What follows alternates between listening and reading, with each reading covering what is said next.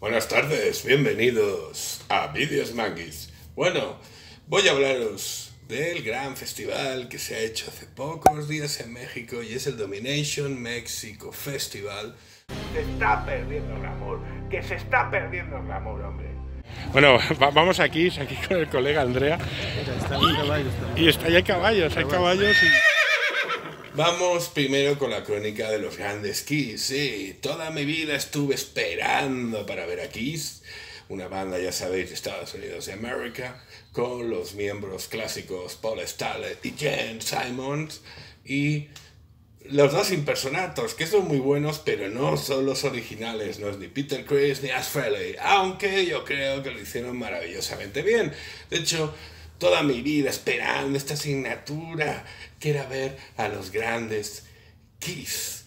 Y bueno, más allá de eso, hay que decir que el show estuvo increíble, estuvo increíble. No llevaban todo su equipo, pero sí llevaban, llevaban sus trucos de artificio.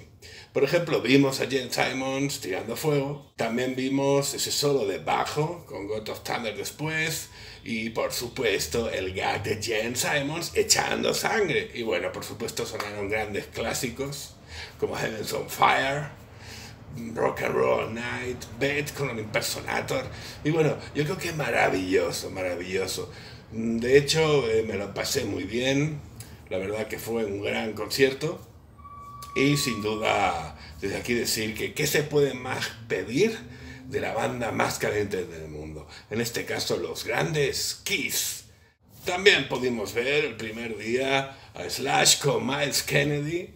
Y bueno, ¿qué decir de Slash que no sepáis, no? Un gran guitarrista, un hombre hecho a sí mismo. La verdad que me pareció un poquito un concepto muy bueno, la verdad, técnicamente muy bien, rock, rock, rock, rock, todo perfecto, pero sí que tengo que decir algo, y es que Slash estaba sobreactuando. Sus solos parecía que iba a explotar su guitarra. Pero bueno, la verdad es que la banda de Slash con Miles Kennedy creo que estuvo muy bien, muy bien, muy aconsejable, un concierto con potencia. Eh, no tiró tampoco de clásicos ni eternos demasiado y eso me agradó ya que estaban presentando este disco que han grabado y la verdad es que estuvo de fenómenos. Como siempre, ¿qué más decir de Slash? Pues que salía humo de la guitarra. Continuamos esta vez también con el día, el viernes día 3 y continuamos con la gran banda Meshuga. Una banda que yo creo que la gente que conoce ya sabe que no suelen decepcionar y es una banda sueca de metal exactamente de Umea, Suecia. Y la verdad es que Meshuga pues mezclan el thrash metal, el metal progresivo, elementos de fusión también de música jazz y lo mezclan con un estilo, un, desenfreno, un- un- unos contratiempos. La verdad, en batería no hay ningún ritmo normal y la verdad, increíble, ¿no? Complejas estructuras polirritmos, música innovadora, la verdadera música innovadora dentro del metal. La verdad es que yo creo que Meshuga, una banda 100% recomendable. Y bueno, en el Domination Festival hicieron un gran concierto, un concierto donde la verdad estuve fijándome en esos tracks, en, cómo, cómo ese batería, todos los ritmos, no hay ningún ritmo, digamos, normal, ningún 4x4, y la verdad es que totalmente increíble, ¿no? Digamos, una de las bandas favoritas del agua Polar Sulrich, increíble concierto el que se pegaron Meshuga en México, DF, en el Domination Festival, viernes 3 de mayo, Autódromo Hermanos Rodríguez. ¡Rock, rock, rock! También pudimos idear a la banda August Born Reds, una banda de metalcore estadounidense, aún no muy famosa, pero que la verdad hizo un concierto que yo creo inolvidable. La verdad es que da gusto ver que apuestan también por bandas más desconocidas y August Born Red, qué decir, en la onda Converge, en la onda Pandas que tocaban antaño en el festival de hardcore de San Feliu.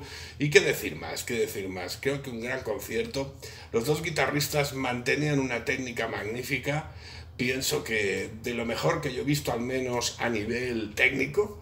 Y pues una banda muy recomendable, vuelvo a decir, desconocida, no tienen los seguidores que puedan tener bandas como Meshuga, pero en un tiempo yo creo que van a ser reconocidas como una de las mejores bandas actuales. La verdad es que contratiempos, ritmos sincopados, impresionante esta banda de Abus Bones Red.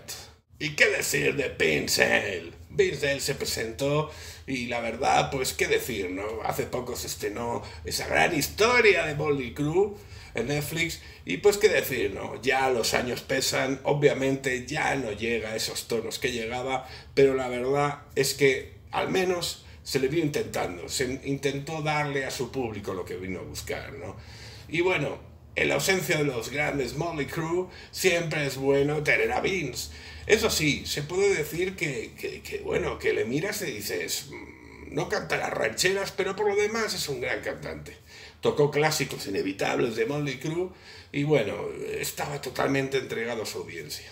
La verdad es que el concepto de Vince me hizo recordar esas bandas de los 80, cuando lo que importaba era echarse colorete, cuando lo que importaba era el maquillaje, ¿no?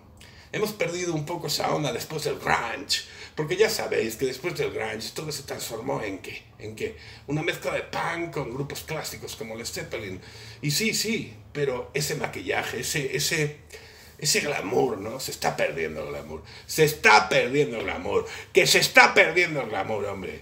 Y nada, pues Vince Neil, qué decir, ¿no? La verdad es que el Domination Festival el viernes 3 de mayo fue un gran, un gran show, la verdad es que totalmente recomendado este festival y seguimos, continuamos. Se me han olvidado varios detalles que os quiero contar. Mira, uno es que te ponían una pulserita que llevaba un chip.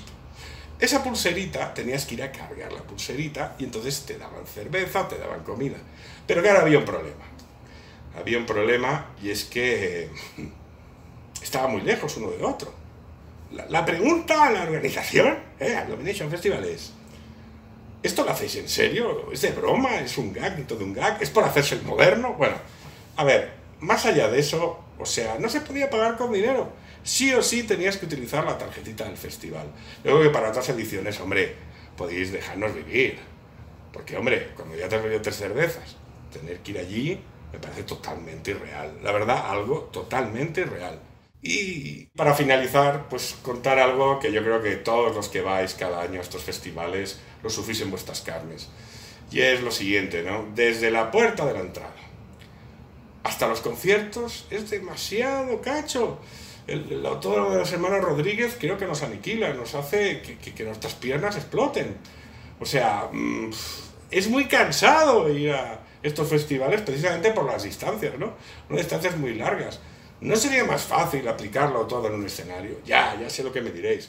Me diréis que, claro, al ser bandas muy profesionales, piden un escenario concreto. Lo entiendo. Entiendo que eh, artistas de la talla de Slash, Kiss, mm, Alice Cooper, pues no tocan en cualquier escenario.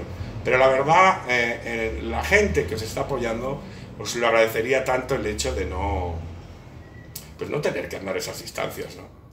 Y nada, ha sido un placer contaros del Domination Festival para vídeos Manguis. Ya Manguis. Vídeos Manguis, parte 2. Bueno, venimos el día 2. Hoy veremos. Hoy veremos hoy. Así, ah, Satiricón. Um, metálica, no Metálica, no. Y el gran Alice. Cooper. Cooper. Y bueno, pues aquí seguimos disfrutando de la police. Mr. Policeman. Seguimos, continuamos. Te vigilan. Y... ¡Veo a ¡Veo a Ese glamour, ¿no? Se está perdiendo el glamour. Se está perdiendo el glamour. Que se está perdiendo el glamour, hombre.